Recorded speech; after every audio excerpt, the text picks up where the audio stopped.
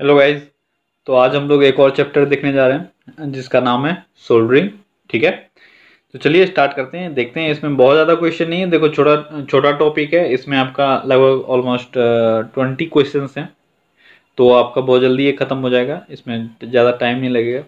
Actually में ये एक इंपॉर्टेंट टॉपिक है सो आपको पढ़ना पड़ेगा, ठीक है? तो चलो स्टार्ट करते हैं, देखते हैं इसमें क्या क्या क्वेश्चन हैं। तो इसका पहला क्वेश्चन है कि मोटे तारों और केबलों में जोड़ लगाने के लिए निम्न में से किस प्रकार का सोल्डर अधिक उपयुक्त है? क्या बोला जा रहा है? अगर मोटा तार है, ठीक है, या कोई केबल है तो उसमें जो आप जोड़ लगाते हो, उसके लिए जो सोल्डिंग किया जाता है, उस सोल्डर में सबसे उपयुक्त कौन सा होता है? सबसे अच्छा कौन सा होता है? कौन सा है? यह आपका कठोर सोल्डर देखो, सबसे पहले तो आपने ये देखा कि इसमें कठोर शोल्डर और नर्म शोल्डर दो तरह का होता है। आपने ये देख लिया मोटे तारों में हम लोग यूज़ करते हैं कठोर शोल्डर। अब आपको ये जानना है कि ये जो कठोर शोल्डर है, ये कितने तरह का होता है? तो ये दो तरह का होता है, ठीक है? दो तरह का आप इसमें शोल्डर मटेरियल यूज़ करते हो। इसका नाम क्या है? इसका नाम है स्पेल्टर शोल्डर और दूसरा है सिल्वर शोल्डर। आप इसको लिख दो, ठीक है? Spelter solder, sorry. Spelter solder spelter solder आप लिख लो स्पेल्टर शोल्डर और ये जो बनाया जाता है, ये बनाया जाता है तांबा यानी C U plus Z N से। किससे बनाया जाता है? तांबा और जिंक से। अब इसमें रेशियो है। आप देखो, कोई भी चीज़ आप बनाते हो तो उसके रेशियो पे ही वो डिपेंड करता है। तो इसमें रेशियो है। इसमें अगर तीन टाइप का रेशियो यूज़ किया जाता है। क्या क्या पहला टाइप दूसरा टाइप और तीसरा टाइप पहला टाइप में तांबा रहता है फिफ्टी परसेंट ठीक है? और आपका जिंक जो है, वो भी रहता है फिफ्टी परसेंट दूसरा टाइप जो है, उसमें तांबा रहता है सिक्सटी सेवन परसेंट और दूसरा रहता है थर्टी थ्री परसेंट और तीसरा टाइप जो है, इसमें तांबा, जस्ता और टीन यूज़ किया जाता है, यानी तांबा फिफ्टी परसेंट रहता है, ठीक है? जिंक जो है वह थर्टी सेवन परसेंट और टीन जो है वह थर्टीन परसेंट रहता है। ये तीन तरह का है अब आपका स्पेल्टर शोल्डर कौन सा शोल्डर स्पेल्टर शोल्डर अब दूसरा वाला सोल्डर जो है अच्छा इसका यूज़ कहाँ किया जाता है? आपके लिए ये इंपॉर्टेंट है। तो प्लम्बर वाले केस में, ठीक है? प्लम्बर लोग जो यूज़ करते हैं, और सीट मेटल व्यवसाय, यानी आप देखते हो आयन का वगैरह ग्रिल वगैरह सब जो बनता है, यानी प्लम्बर और सीट आयन का जो यूज़ किया जाता है, उसमें जो सोल्डरिंग होता है, उसके लिए कौन सा यूज़ किया जाता है? उसके लिए यूज़ किया जाता है स्पेल्टर स्पेल्टर ठीक है? स्पेल्टर सोल्डर ये यूज़ किया जाता है। अब दूसरा जो मैंने बताया, ये आपका सिल्वर शोल्डर। कौन सा है? ये है सिल्वर शोल्डर। कौन सा है? Silver solder.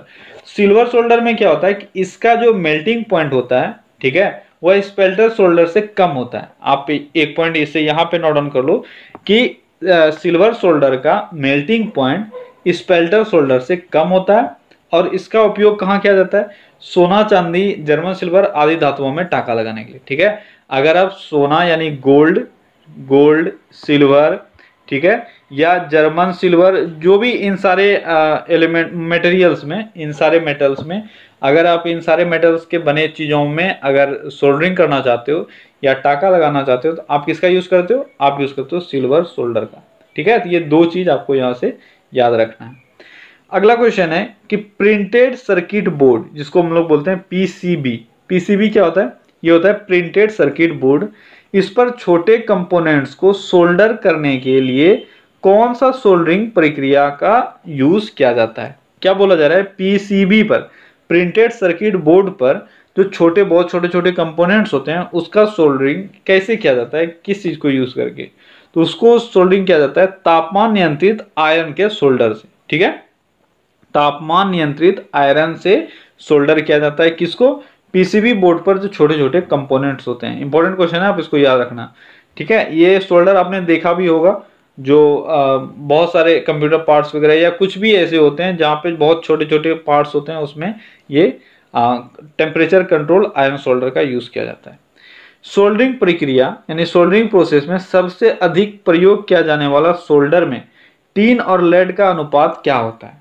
तो सबसे अधिक जो सोल्डरिंग प्रक्रिया में यूज़ किया जाता है सोल्डर उसमें टीन और लेड इसका अनुपात क्या होता है? जिसका अनुपात होता है sixty three is to thirty seven क्या होता है?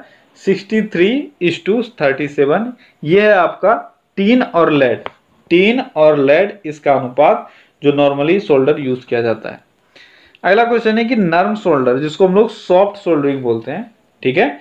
इसमें जो यूज़ किया जाता है आ, कितने टेम्परेचर के मध्य इसको यूज़ किया जाता है?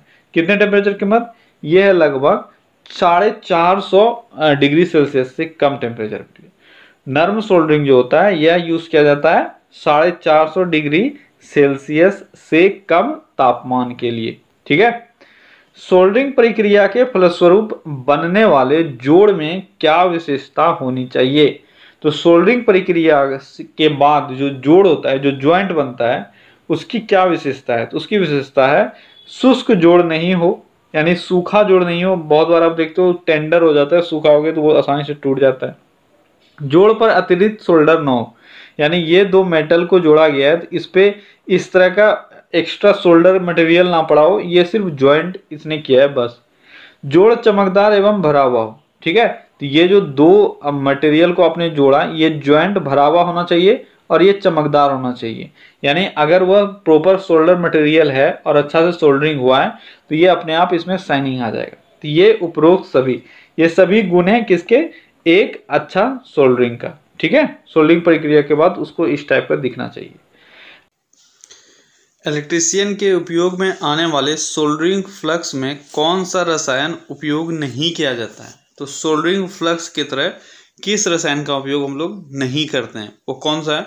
वो है आपका, देखो, zinc chloride, hydrochloric acid, ammonium, ammonia resin और रेजिन। तो ये तीनों हैं। यानी zinc chloride, hydrochloric acid, resin, ये सभी हम लोग यूज़ करते हैं। तो क्या यूज़ नहीं करते हैं? अमोनिया। ठीक है?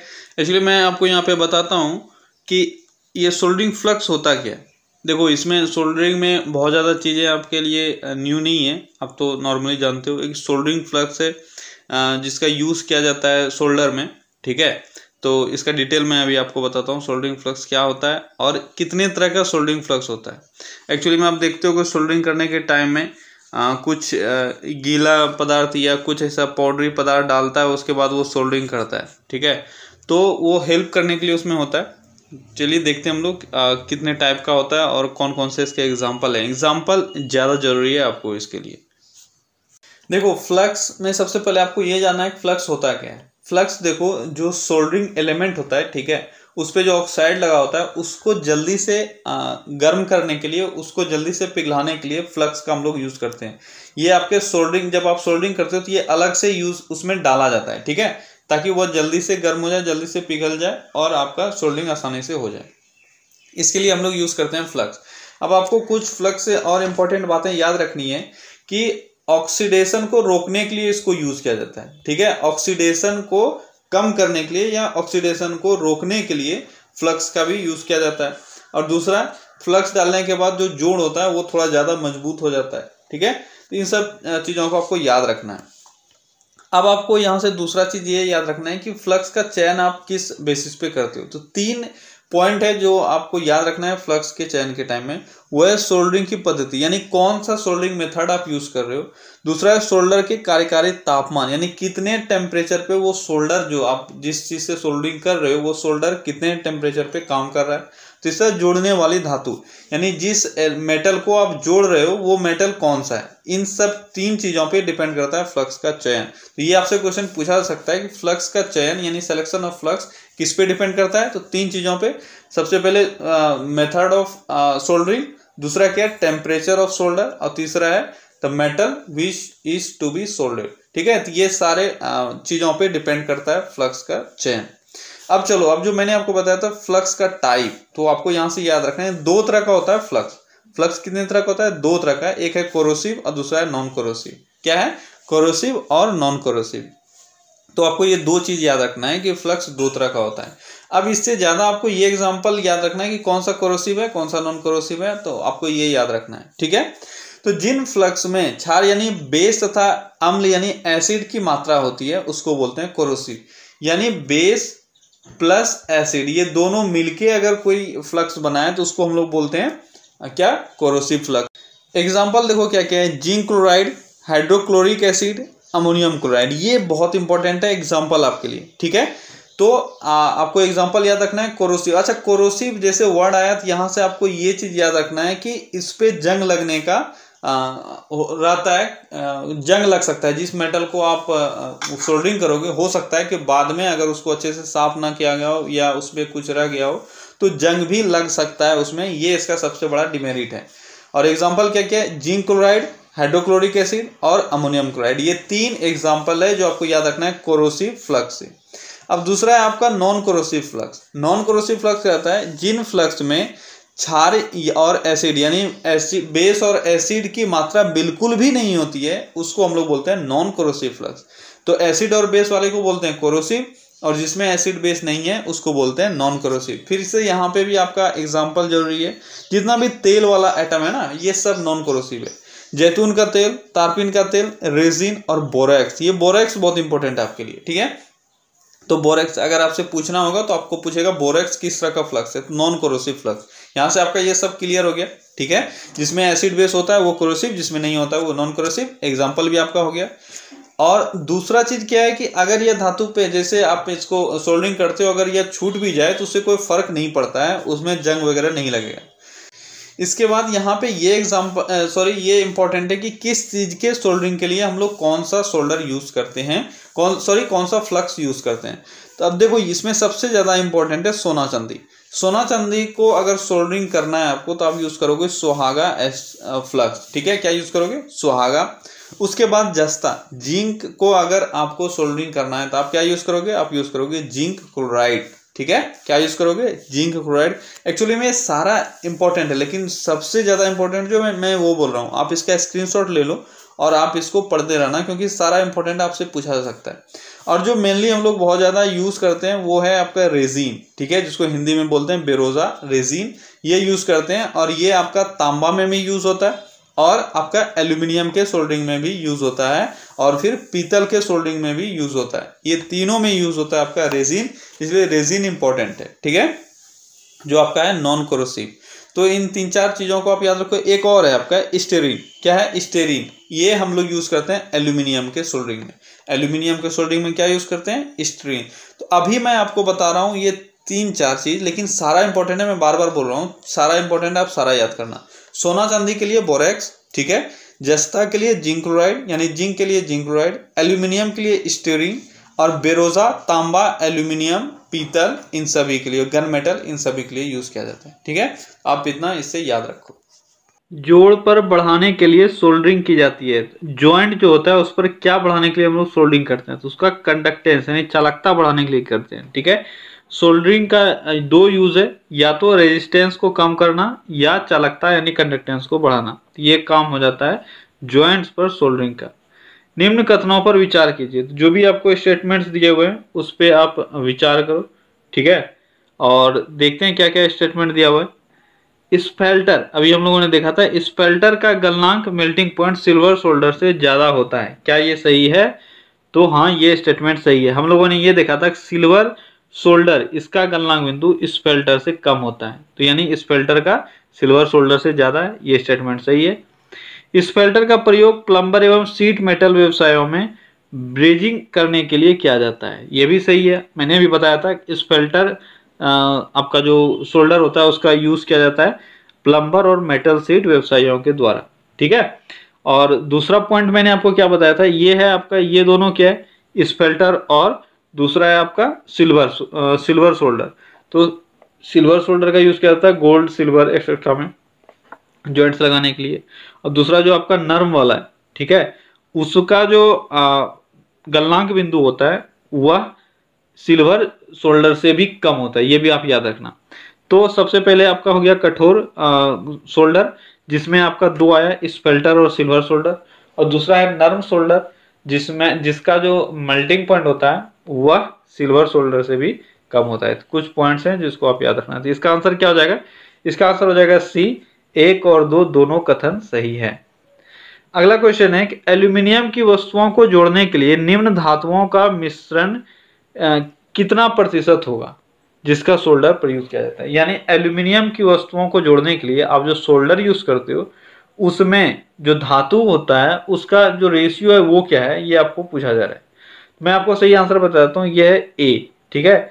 यानी टीन जो होना चाहिए, वो होना चाहिए सेवेंटी परसेंट और जिंक जो होना चाहिए, वो होना चाहिए ट्वेंटी फाइव परसेंट एल्यूमिनियम जो होना चाहिए, वो होना चाहिए थ्री परसेंट और फॉस्फर टीन ये होना चाहिए टू परसेंट ये कहाँ यूज़ किया जाता है? एल्यूमिनियम की वस्तुओं को जोड़ने के लिए। ये आप याद रखना, एल्यूमिनियम की वस्तुओं को जोड़ने के लिए जो सोल्डर यूज़ किया जाता है, वह एक मिश्र धातु का होता है और उस मिश्र धातु में ये चार सामान पाया जाता है, टीन जिंक, एल्यूमिनियम और फॉस्फरटीन, ठीक है? इसमें से टीन जो होगा, वह सेवेंटी परसेंट उसमें मिलाया जाएगा। जिंक को ट्वेंटी फाइव परसेंट मिलाया जाएगा, एल्यूमिनियम को थ्री परसेंट और फॉस्फरटीन को दो परसेंट। ये रेशियो इंपॉर्टेंट है, आप इसको याद रखना, ठीक है? विद्युत सोल्डरिंग में प्रयुक्त होने वाले सोल्डर वायर का गलनांक, यानी मेल्टिंग पॉइंट कितना होता है? तो विद्युत सोल्डरिंग में जो सोल्डर वायर होता है, उसका मेल्टिंग पॉइंट 200 डिग्री सेल्सियस होता है। कितना होता है? 200 डिग्री सेल्सियस उस रसायन का नाम बताइए जिसका उपयोग सोल्डरिंग फ्लक्स के रूप में इलेक्ट्रिशियन सोल्डर में सॉरी इलेक्ट्रिशियन सोल्डर के लिए किया जाता है। फिर से आपको वही क्वेश्चन है, ठीक है? आपने अभी सारा एग्ज़ाम्पल देख लिया है कि कौन कौन सा उसमें फ्लक्स यूज़ किया जाता है कौन कौन सा और क्या होता है वो। तो आपका यहाँ ऑप्शन देखो क्या है, जिंक क्लोराइड हाइड्रोक्लोरिक एसिड जैतून का तेल, सभी। तो आपका आंसर क्या हो जाएगा? सभी। क्योंकि सभी जितने भी मटेरियल्स दिए हुए हैं, जितने भी चीज़ दिए हुए हैं, सभी को हम लोग सोल्डरिंग फ्लक्स की तरह यूज़ करते हैं। कोई पदार्थ जिसका उपयोग सोल्डरिंग प्रक्रिया के दौरान चालक की सतह पर ऑक्साइड को घुलाने के लिए होता है, उसको क्या कहते हैं? तो अभी मैंने आपको बताया था कि सोल्डरिंग फ्लक्स क्या होता है। तो सोल्डरिंग फ्लक्स वो होता है जो चालक की सतह पर ऑक्साइड को घुलाने के लिए किया जाता है जिसका यूज़ तो आपका आंसर क्या हो जाएगा? आपका आंसर हो जाएगा सोल्डरिंग फ्लक्स ठीक है? स्टेनलेस स्टील की सोल्डरिंग हेतु कौन सा फ्लक्स प्रयुक्त होता है? यानी स्टेनलेस स्टील में कौन सा फ्लक्स हम लोग यूज़ करते हैं? तो स्टेनलेस स्टील का अगर सोल्डरिंग करना हो तो हम लोग यूज़ करते हैं hydrochloride zinc chloride ammonium chloride ये सभी। तो आपका हो जाएगा ये सभी। इन सभी को हम लोग स्टेनलेस स्टील के सोल्डरिंग हेतु प्रयोग में लाते हैं।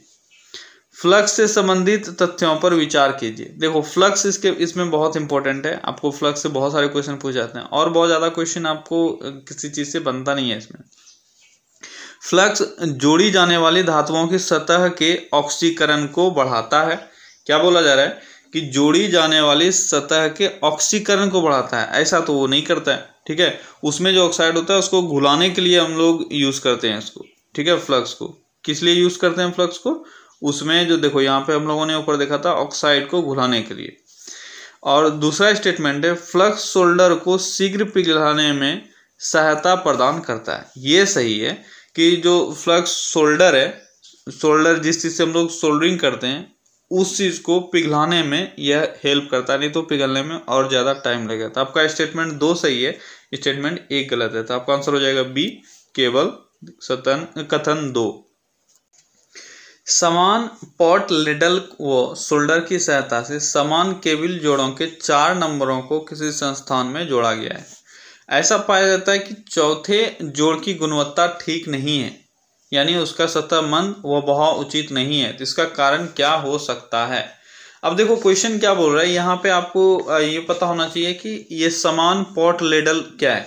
तो देखो, समान पॉट लेडल जो यहाँ पे बोल रहा है, ये पॉट लेडल एक विधि है सोल्डरिंग का। सोल्डरिंग के कुछ कुछ विधियाँ होती है, जो आप, देखो यहाँ से दो चीज़ें आपको जाने सबसे पहले मैंने आपको बताया फ्लक्स का टाइप, और दूसरा है सोल्डर का विधि, ठीक है? कुछ कुछ सोल्डर के विधियाँ हैं, वो आपको जानना है। तो मैं अभी आपको बताता हूँ डिटेल से, पहले इस क्वेश्चन को डील कर लेते हैं। क्या बोला जा रहा है कि समान पॉट लेडल व सोल्डर की सहायता से आप चार केबल है, किसी भी संस्थान, किसी भी ऑर्गेनाइजेशन में कोई सोल्डरिंग करने वाला गया, वहाँ पे चार केबल है ठीक है? और इसको चार केबल को चार चार बार सोल्डरिंग करना है। और केबल भी सेम क्वालिटी का है, इसमें कोई अंतर नहीं है। अब हो क्या रहा है? देखो, ये जो पॉट लेडल है पॉट लेडल विधि में क्या होता है कि एक पॉट रहता है, ठीक है? उसमें सोल्डरिंग जो आपका एलिमेंट होता है, वो सोल्डरिंग एलिमेंट डाल दिया जाता है उसको गर्म किया जाता है। अब गर्म करने के बाद ये पिघल जाता है पूरा, उसके बाद फिर इस, इसी के हेल्प से सोल्डरिंग किया जाता है, ठीक है? इसमें एक कड़छी यूज़ किया जाता है, जिसको हम लोग लेडल बोलते हैं, ठीक है? इंग्लिश में लेडल बोलते हैं, इसलिए नाम इसका इंग्लिश में ही पड़ा है। तो कड़छी एक यूज़ किया जाता है, लेडल यूज़ किया जाता है, जिसके सहायता से अगर यहाँ पे सोल्डिंग करना है तो यहाँ से फिर निकाल के यहाँ डाल देते हैं, यहाँ डाल देते हैं। अब देखो, हो क्या रहा है? एक बार आपने सोल्डरिंग किया, तब तक ये ठंडा हो जाता है। फिर से इसको गर्म किया जाता है। फिर से आप सोल्डरिंग करते हो, फिर ये ठंडा हो जाता है। फिर से आप इसको गर्म करते हो, फिर से इसको सोल्डरिंग करते हो, और फिर से गर्म करते हो फिर से सोल्डरिंग करते हो। तो इस तरह से बार बार गर्म करने से इसमें हो क्या रहा है कि बार बार जब गर्म करोगे आप तो सोल्डर से टीन गायब हो जाएगा। ठीक है? इसका रीजन जो है, चौथा सोल्डर जो खराब हुआ है, चौथा सोल्डरिंग खराब हुआ है, उसका कारण क्या है कि बार बार गर्म करने से सोल्डर से टीन गायब हो जाता है, जिससे आपका जो सोल्डरिंग का क्वालिटी है, वो खराब हो जाता है। जो पहला सोल्डर इसमें सबसे बढ़िया होगा दूसरा वाला उससे थोड़ा ठीक खराब होगा, उससे थोड़ा खराब होगा तीसरा, और चौथा उससे भी खराब हो जाएगा। इसीलिए इस मेथड से जब भी सोल्डरिंग किया जाता है तो एक बार इसको गर्म करके कोशिश किया जाता है कि आपका सोल्डरिंग कर दिया जाए, ठीक है? बार बार जब आप गर्म करोगे तो फिर प्रॉब्लम आती है, और लास्ट में क्या होगा कि टीन गायब हो जाएगा, जिसके कारण से शोल्डर स्मूथ नहीं होगा। तो ये आपका आंसर ए था। अब देखो, मैं यहाँ पे आपको फटाफट बता देता हूँ कौन कौन सा मेथड है और क्या यूज़ किया जाता है। बस आपको नाम पता होना चाहिए, ठीक है? देखो, सोल्डरिंग मेथड में आपके बहुत सारे मेथड हैं। मेनली आपके लिए इंपॉर्टेंट यहाँ पे क्या, बहुत ज़्यादा इंपॉर्टेंट सारा चीज़ नहीं है। बस आपको नाम पता होना चाहिए, उसमें क्या होता है, ये पता होना चाहिए बस। अब ज़्यादा इसमें दिमाग मत लगाना, ठीक है? देखो, सबसे पहला है कि सोल्डरिंग आयरन के द्वारा। सोल्डरिंग आयरन में आपको फिगर भी दिखाता हूँ। अभी आप सिर्फ़ सुन लो जो मैं बोल रहा हूँ। सोल्डरिंग आयन के द्वारा इसमें आपके लिए इंपॉर्टेंट क्या है कि किस किस चीज़ से इसमें किया जाता है? तो विद्युत सोल्डरिंग आयन का ज़रूरत होता है, सोल्डर कार्ड का और फ्लक्स का ज़रूरत होता है। ये तीन चीज़ें, चीज़ों की ज़रूरत होती है। अगर आप सोल्डरिंग आयन के द्वारा सोल्डरिंग कर रहे हो तो क्या क्या सोल्डरिंग आयन, सोल्डर कार्ड और आपका फ्लक्स ये तीन चीज़ का ज़रूरत है ठीक है? और इसी में आपको बार बार जो क्वेश्चन पूछा जाता है उसका बिट किस चीज़ का बना होता है? तो बिट बना होता है आपका जो सोल्डिंग आयरन होता है उसका बिट जो होता है वो टांग सॉरी तांबा का बना होता है ये आपसे बार बार पूछा जाता है। तो इसी में वो बिट होता है ठीक है? इसमें देख लो आप ये होता किस तरह से इस तरह से आपने देखा होगा बहुत बार इस तरह के सोल्डिंग करते हुए देखे होंगे जहाँ पे आ, आपका जो इलेक्ट्रिसिटी का काम जहाँ पे होता है, वहाँ पे आपको ये देखने को मिला होगा। इसमें क्या करते हैं, ये है आपका आयन सोल्डरिंग आयन ठीक है? तो इसमें गर्म करके उसके बाद यहाँ पे रिजीन सॉरी फ्लक्स लगाते हैं, उसके बाद फिर से इसको सटा के आप सोल्डरिंग कर देते हो। तो आपके लिए इंपॉर्टेंट सब चीज़ इंपॉर्टेंट नहीं है, बस आपको मेथड पता होना चाहिए सोल्डरिंग आयन एक मेथड है, ठीक है? और देखो यहाँ पे आपको बस इतना याद रखो तो आपका काम चल जाएगा। शोल्डर कार्ड को जोड़ पर पिघलाया जाता है, नौ की सोल्डरिंग आयन की बिट पर पिघलाकर उसे जोड़ा जाता है। ठीक है? तो यहाँ से आपका ये क्लियर हो गया। सोल्डरिंग कार्ड जो होता है, वो जोड़ जहाँ पे डालना है, यहाँ पे आप डाल के पिघलाते हो। उसके बाद सोल्डरिंग आयन से उसको उसमें चिपका देते हो फ्लक्स डाल के। तो ये आपका सोल्डरिंग आयन मेथड था। दूसरा मेथड जो आपका है, ये है आपका ब्लो लैंप मेथड क्या है? ब्लो लैंप मेथड तो ब्लो लैंप जैसे नाम से ही क्लियर है, इसमें हम लोग क्या क्या यूज़ करते हैं आपके लिए वो इंपॉर्टेंट है। क्या क्या यूज़ करते हो आप? शोल्डर रॉड यूज़ करते हो ब्लो लैंप यूज़ करते हो और फ्लक्स यूज़ करते हो। फ्लक्स तो सब में यूज़ होगा, ठीक है? आप इसमें आप करते क्या हो? देखो, ये ब्लो लैम्प का आपका लाइट पूछा जाता है किस कलर का होता है। ब्लो लैम्प का लाइट होता है नीला कलर का, आप ये भी याद रखना, ठीक है? नीला कलर का इसका फ्लेम होता है ब्लो लैम्प का। और इसमें हम लोग क्या करते हैं कि जोड़ पर फ्लक्स लगा देते हैं और शोल्डर रॉड को पिघलाकर वहाँ पे जो जोड़ है उसको भर देते हैं। यानी ये आपका शोल्डर रॉड, यहाँ पे आपको जोड़ना है तो यहाँ पे आपने फ्लक्स लगाया, दोनों साइड देखो कपड़ा से पकड़ा गया, उसके बाद फिर आपने ब्लो लैम्प से इसको पिघला के यहाँ पे जोड़ को भर दिया। तो ये होता है ब्लो लैम्प मेथड, ठीक है? इसके बाद अगला है आपका सोल्डरिंग पात्र और कर्ची द्वारा, ये इंपॉर्टेंट है, ये आपसे बार बार पूछा जाता है, क्योंकि नाम से थोड़ा अलग है ये, ठीक है? इसको इंग्लिश में आप याद रखो soldering pot and ladle soldering pot and ladle method इसको क्या बोलते हैं? Soldering pot and ladle method इसमें हम लोग क्या करते हैं? आप देखो, इसमें दो, आपको यहाँ पे पॉट दिख रहा होगा, यहाँ पे दो नहीं, ये एक ही का अलग, अगला स्टेप है। आप क्या करते हो? एक पॉट लेते हो, ठीक है? उसमें जो शोल्डर रॉड है, उसका एक टुकड़ा डाल देते हो और फिर उसको गर्म करते हो। क्या करते हो? ब्लो लैंप के द्वारा इसको हम लोग गर्म कर देते हैं। यानी आपने शोल्डर पॉट में डाला और ब्लो लैंप के द्वारा आपने गर्म किया। उसके बाद फिर आप कड़छी जो यूज़ कर रहे हो, यहाँ पे लेडल, ये लेडल जो यूज़ कर रहे हो, इसके हेल्प से आपको जहाँ सोल्डिंग करना है, वहाँ पे डाल देते हो। जैसे ये आपका बीच का छेद है, जहाँ पे आपको सोल्डिंग करना है ज्वाइंट है, इसमें आप डाल देते हो कड़छी से, ठीक है? इसको हम लोग बोलते हैं सोल्डरिंग पॉट मेथड और soldering pot and ladle method. मैं देखो, ज़्यादा टाइम इसमें नहीं दे रहा क्योंकि आपके लिए नाम इंपॉर्टेंट आपको नाम आ गया और क्या होता है उसमें वो आ गया। बस आपके लिए काफ़ी इससे ज़्यादा क्वेश्चन आपसे नहीं पूछे जाएँगे इससे।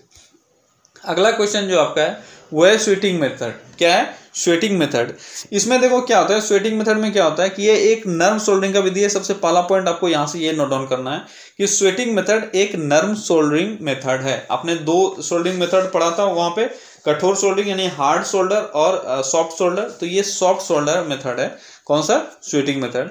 इस प्रोसेस में क्या करते हैं कि जिस पार्ट को जोड़ना है, उसकी सतह पर पहले टिनिंग की जाती है। यहाँ पे, जैसे मान लो ये जोड़ना है तो पहले आपने इसका क्या किया? आपने टिनिंग कर दिया, ठीक है? इसके पश्चात जोड़े जाने वाले दोनों पार्टों की सतह पर शोल्डर की कोटिंग चढ़ाई जाती है। यानी ये आपने टिनिंग की, उसके बाद इसके ऊपर जो छेद आपने फिल कर दिया, उसके ऊपर आपने सोल्डर की कोटिंग चढ़ा दी, ठीक है? उसके बाद दोनों पार्टों को संयोजित कर क्लैंप लगाया जाता है और फिर जोड़े जाने वाले स्थान पर फ्लक्स लगा दिया जाता है। तत्पश्चात उसे गर्म कर दिया जाता है, ठीक है?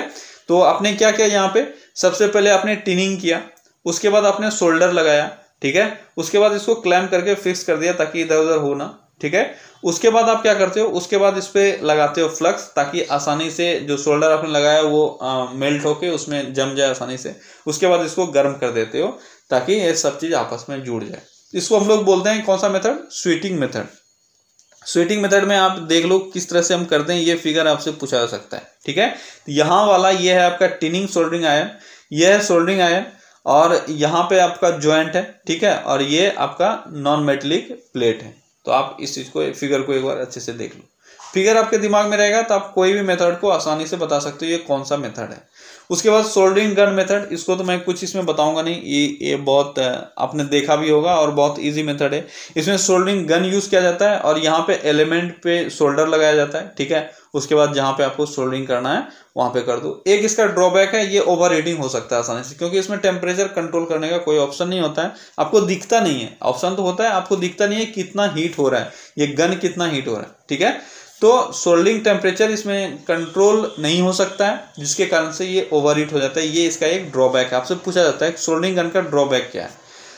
अगला है आपका डीप सोल्डरिंग बोर्ड अब देखो, नाम से क्लियर होगा आपको डीप सोल्डरिंग बोर्ड यानी यहाँ पे कुछ एक पॉट ऐसा होगा, उसमें कुछ चीज़ें होंगी, उसमें आप कुछ डीप कर रहे हो डीप मतलब डुबा रहे होगे इसको बोलते हैं डीप मेथड नाम से क्लियर है, पर आपके लिए यहाँ इंपॉर्टेंट है ये यूज़ कहाँ करते हैं? इस चीज़ को यूज़ करते हैं हम लोग पीसीबी के पीसीबी में सोल्डरिंग करने के लिए. पीसीबी यानी प्रिंटेड सर्किट बोर्ड आप देखते हो प्रिंटेड सर्किट बोर्ड जो होता है प्रिंटेड इसमें बहुत सारा चीज़ होता है, आप देखते हो. तो इस चीज़ ऐसे चीज़ों के पार्ट्स को सोल्डरिंग करने के लिए हम लोग क्या यूज़ करते हैं? हम लोग यूज़ करते हैं डीप मेथड इसमें क्या करते हैं? आपका एक यूटेंसिल होता है, उसमें आप सोल्डर एलिमेंट को डाल के और उसके बाद उसको गर्म करके वो पिघलाया हुआ रहता है, ठीक है मेल्ट किया हुआ रहता है। आप इसमें डायरेक्ट वो जाके डुबो देते हो डीप कर देते हो, जिससे वो सॉरी सोल्डरिंग हो जाता है। ठीक है, मैं इसका फिगर आपको दिखाता हूँ कैसा है। देखो, ये है आपका उसका फिगर आपने यहाँ पे क्या किया है? आपने यहाँ पे पहले से शोल्डर तैयार करके रखा है। शोल्डर इसके एलिमेंट को आपने गला कर रखा है। ठीक है? इसके बाद आप क्या करते हो? एक धागा के वजह से इसको डिप कर देते हो, धागा के धागा के हेल्प से और फिर इस पर पूरी तरह से सोल्डरिंग हो जाता है। ठीक है? तो ये आपको याद रखना है और दूसरा मेथड जो है इसका बाद है, ये है आपका सोल्डरिंग मशीन के द्वारा, मशीन द्वारा सोल्डरिंग। तो इसमें आपको याद क्या रखना है? इसमें कुछ याद नहीं रखना है। आप मशीन जानते हो, मशीन से हम लोग यूज़ करते हैं उसमें। तो इसमें कुछ ऐसा चीज़ है नहीं जो आपको याद रखना है। इसमें बस ये याद रखो कि ये एक मेथड है, जिसमें हम लोग मशीन को यूज़ करके सोल्डरिंग करते हैं। इस तरह का जो आपको नीचे दिख रहा है, ये इस तरह का सोल्डरिंग मशीन होता है, ठीक है? तो यहाँ से आपको बहुत सारे क्वेश्चन पूछे नहीं जाते हैं। और बस आपको नाम याद रखना है बस। अब देखो, अगला क्वेश्चन है कि निम्न चित्र में कौन सी सोल्डरिंग विधि प्रदर्शित की गई है? तो मैंने आपको बताया हुआ था कि सोल्डरिंग का मेथड क्या क्या है कौन कौन सा है। तो आप देखो, एक पात्र यूज़ किया गया, दूसरे पात्र में आपको ये इस टाइप का कुछ चीज़ें दिख रही है। यानी ये मेथड किसका है? ये आपका सोल्डरिंग पात्र और करछी विधि, जिसको हम लोगों ने इंग्लिश में क्या देखा था? इसका नाम क्या है? इसका नाम है सोल्डरिंग पॉट एंड लेडल क्या है? Soldering pot and ladle method तो आपका आंसर बी हो जाएगा। अगला क्वेश्चन है सोल्डरिंग आयन का बीट डैश का बना होता है। तो सोल्डरिंग आयन का बीट किस चीज़ का बना होता है? सोल्डरिंग आयन का बीट बना होता है तांबे से। किस चीज़ से बना होता है? तांबे से। सोल्डरिंग आयन का बीट बना होता है सॉरी सोल्डरिंग आयन का बीट बना होता है तांबे से। ठीक है? अगला क्वेश्चन देखो, आपको एक फिगर दिया हुआ है और पूछा गया है कि चित्र में एक्स किसे संकेत दे रहा है? ये एक्स क्या है? आपने देखा था जब मैंने आपको बताया हुआ था वहाँ पे आपका आ, मैंने सबका पिक्चर भी आपको दिखाया था कि कौन सा सोल्डरिंग मेथड किस चीज़ का है और रिप्रेजेंटेशन कैसे हम लोग करते हैं। तो ये वाला कौन सा था? ये वाला जो पिक्चर दिख रहा है आपको ये कौन सा सोल्डरिंग मेथड था? ये था बाय स्वेटिंग क्या था? स्वेटिंग मेथड था ना? स्वेटिंग मेथड स्वेटिंग मेथड में हम लोग यहाँ पे क्या यूज़ करते हैं? ये आपका सोल्डरिंग आयरन क्या है? सोल्डरिंग आयरन तो आपका आंसर क्या हो जाएगा? ए ये सोल्डरिंग आयरन है। ठीक है? अगला क्वेश्चन है सोल्डरिंग द्वारा बनाया गया जोड़ होता है। तो देखो आपको जब आप ऑप्शन देखोगे तो आपको एक दिखेगा ब्रेस्ड जोड़। ठीक है ये ब्रेस्ड जोड़ क्या है? इसमें देखो एक्चुअली होता क्या है? आ, पहले मैं आंसर बता देता हूँ क्या है कि सोल्डरिंग द्वारा बनाया गया जोड़ ब्रेज जोड़ से कमज़ोर होता है। क्या होता है? ब्रेज जोड़ से कमज़ोर होता है। अब आपको यहाँ से यह पता होना चाहिए कि ब्रेज्ड जोड़ है क्या? एक्चुअली में देखो इस तरह के जोड़ में क्या किया जाता है? यहाँ पे आपको इस फिगर में दिख रहा होगा। कि जिस मेटल को हमको जोड़ना है, उन दोनों मेटल को हम लोग लेते हैं, ठीक है? और एक तीसरा वही मेटल रहता है, उससे कम उसका मेल्टिंग पॉइंट जो रहता है, वो कम रहता है, और जहाँ पे आपको जोड़ लगाना है जैसे यहाँ पे सॉरी यहाँ पे इसको जोड़ लगाना है तो यहाँ पे इसको रख के और फिर इसको हीट कर देते हैं, ताकि ये मेल्ट होके इसके सारे जो जॉइंट हैं, जो भी इसमें जो छेद बचा हुआ है, वो सारा फिल हो जाए, और ये आपस में जकड़ ले, सूखने के बाद ये अच्छी तरह से पकड़ लेगा। इस, इसको बोलते हैं ब्रेड जोड़, जो बहुत ही मज़बूत होता है, ठीक है? क्योंकि आप देख रहे हो ना, इसमें सारा जो मेटल है वही फील होता है और फिर सूखने के बाद वो सेम हो जाता है। सिर्फ़ इसका मेल्ट करने के टाइम में इसका मेल्टिंग पॉइंट कम होता है, इसी कारण से इससे पहले ये मेल्ट हो जाता है और आसानी से जम जाता है, ठीक है? इसको बोलते हैं ब्रेड जोड़। तो ब्रिज जोड़ आपके सोल्डरिंग से ज़्यादा मज़बूत होता है, ये आपको याद रखना है, ठीक है? तो ओके फ्रेंड्स ये था हमारा सोल्डिंग से कुछ इंपॉर्टेंट क्वेश्चंस छोटा चैप्टर था, लेकिन आपके लिए इंपॉर्टेंट था, ठीक है? चलिए फिर से मिलते हैं हम लोग अगले चैप्टर में। Till then take care bye bye